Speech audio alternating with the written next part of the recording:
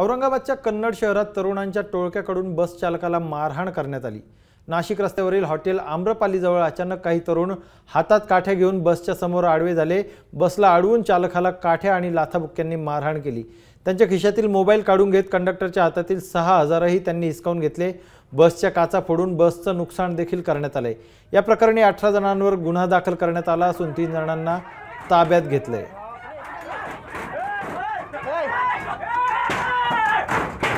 Police को बोलो।